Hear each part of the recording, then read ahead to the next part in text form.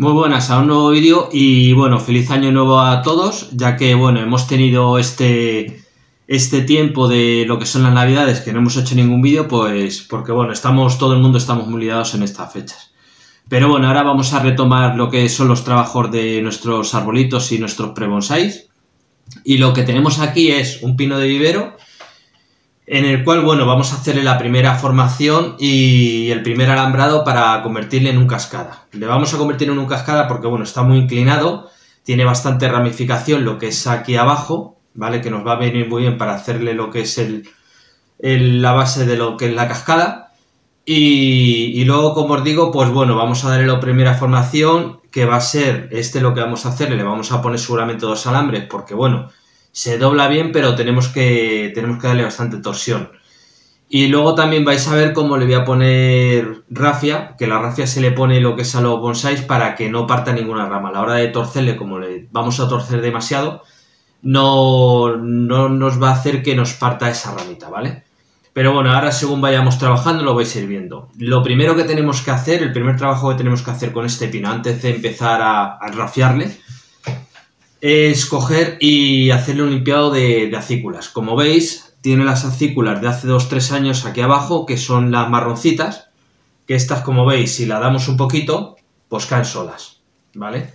Entonces eso es lo que tiene, es el primer trabajo que tenemos que hacer con, todos los pinos que cojamos de, de vivero, ese primer trabajo, es la limpieza de acículas.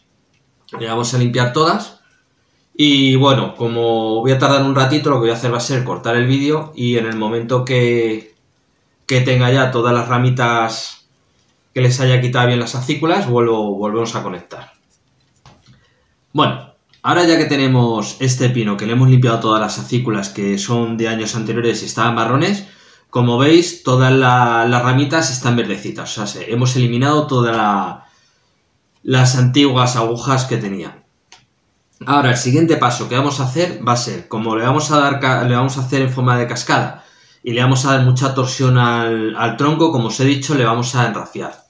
Tenemos aquí rafia, la rafia es como una especie de paja y claro, evidentemente pues está seca. Y lo que tenemos que hacer antes de utilizar lo que son para enrafiar una ramita es meter unos 15-20 minutillos en agua para que esté más flexible y sea más manejable.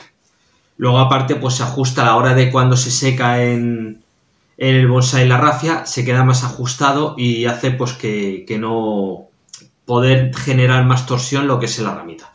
Entonces, bueno, como os digo, lo primero que vamos a hacer va a ser irle poniendo lo que es la rafia. La rafia simplemente es irle dando vueltas al tronco. ¿Vale? Con la rafia, como veis ahí, es irle dando vueltas y vueltas y vueltas.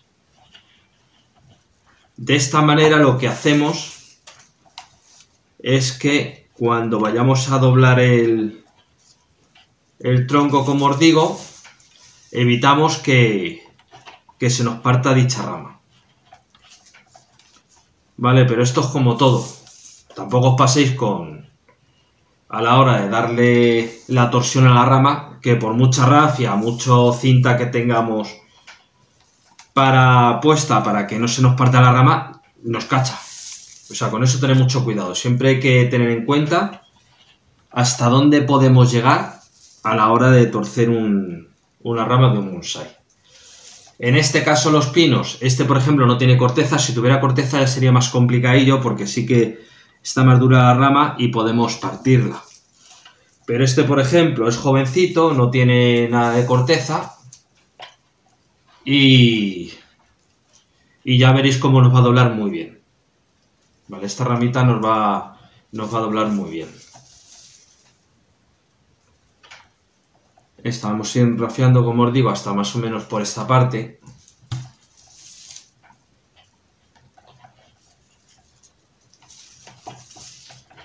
Y en cuantito, vamos a, como os digo, eh, voy a enrafiarla hasta aquí. En cuantito que la tengo enrafiada hasta esta altura, vuelvo a conectar para que, para que, bueno, entre unas cosas y otras no se nos haga el vídeo tan pesado.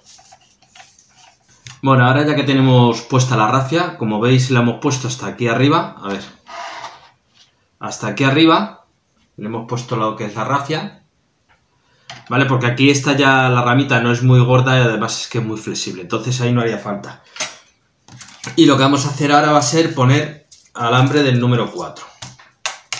Vale, vamos a medir. Y le vamos a poner lo que es el, alambre del número 4. Y ahora, en el momento que le pongamos, seguramente que nos hagan falta dos, alambres, ¿vale? Para, para torcerle. Pero bueno, ahora según lo vayamos alambrando, vamos a ver si le, si le hace falta un segundo alambre o no. Ya como os digo, yo creo que sí que, nos hace falta lo que es un, un segundo alambre. Y aquí pues le vamos dando y alambrando despacito. A ver, esta vamos a meter entre medias. De esa y esta. Y vamos a seguir hacia arriba.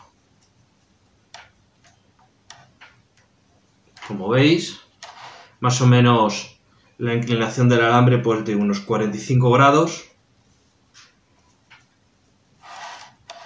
Y vamos a ir pues eso, alambrando hasta arriba.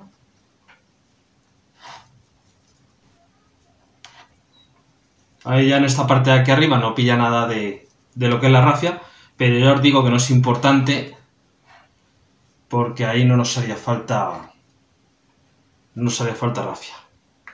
Ahí fijaros, sí que dobla bastante bien. Y este lo que tenemos que hacerle es darle la inclinación hacia este lado. Pero vemos que sí que gira, ¿vale? Pero sí que aquí abajo nos va a hacer falta darle más torsión. Entonces le vamos a poner lo que es un, segundo alambre. Vale, este vamos a pinchar igual, le pinchamos un poco y empezamos a alambrar. Y este sí que vamos pegados uno con el otro.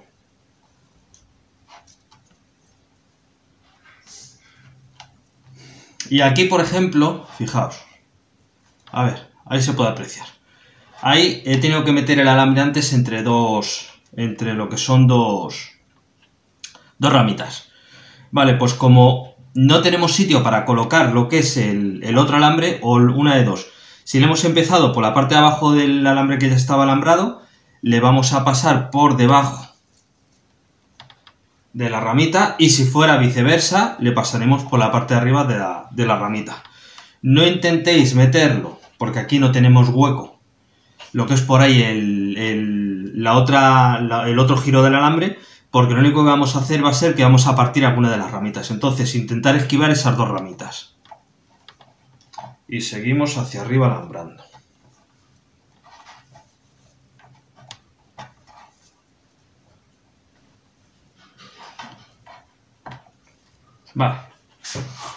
Una vez que tenemos ya estas dos, los dos alambres. Ahora sí que, por ejemplo, vamos a ver que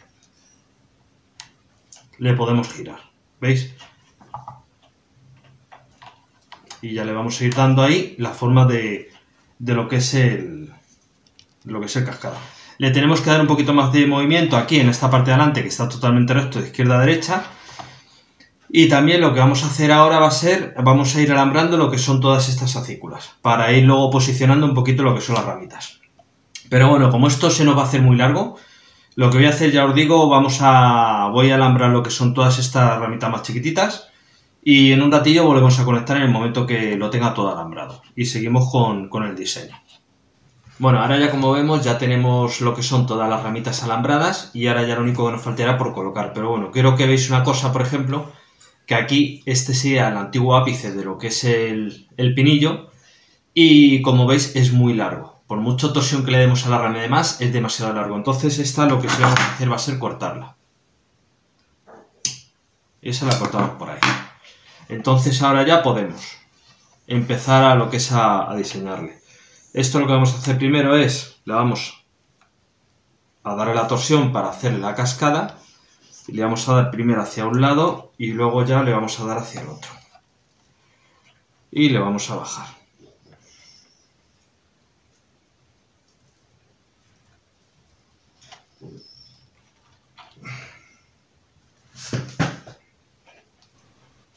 Vale, ahora ya que veis que el movimiento que tiene lo que es el tronco, que lo tiene hacia izquierda y derecha, lo que vamos a ir haciendo es irle colocando lo que son estas acículas.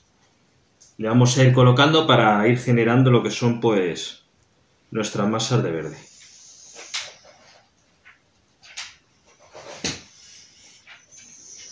De esa manera le vamos a poder ir dando el diseño a, a nuestro bonsé de pino.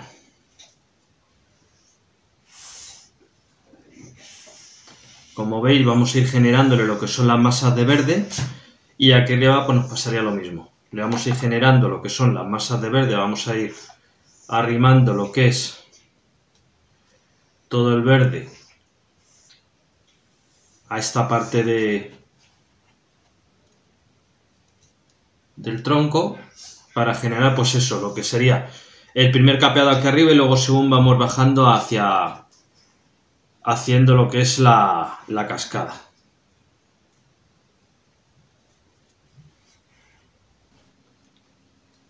Bueno, así vamos colocando lo que son todas las ramitas en su posición.